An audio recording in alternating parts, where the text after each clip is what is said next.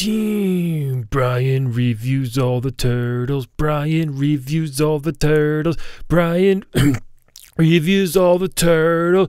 Brian reviews the turtles. Here we go.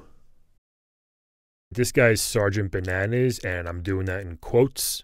If you can't see, because a lot of people forget that Donkey Kong was a part of TMNT for a while. Um, they just gave him some camouflage, a helmet, and called him Sergeant Bananas, but everyone knew it was actually Donkey Kong. Kind of like how Michael Jordan got suspended from the NBA for gambling for 18 months.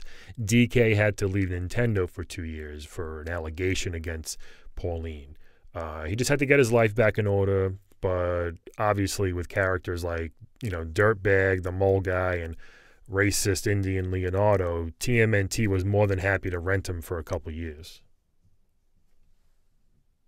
What what what the hell is this thing? I don't know the fuck.